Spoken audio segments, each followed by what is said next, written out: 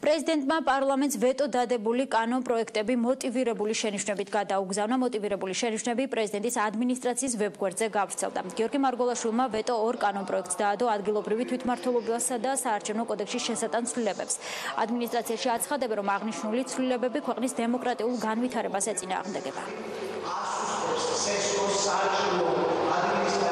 ყველაზე სამწუხარო აქ ის არის, რომ ამ ორი ცვლილებით უარყოფილ ხდება და უკან ტრიალდება თვითონ ოცნებისვე მიღწევები. ეს ცვლილებები აუარესებს დემოკრატიის ხარისხს ჩვენ ქვეყანაში. დღეს პირველ კომენტარებში საერთაშორისო ორგანიზაციების ჩვენ ეს დავინახეთ და იმედი მაქვს, რომ სწორედ ამ ტიპის განცხადებებს კარგად და ყურადღებით მოეკიდება ჩვენი უმრავლესობა.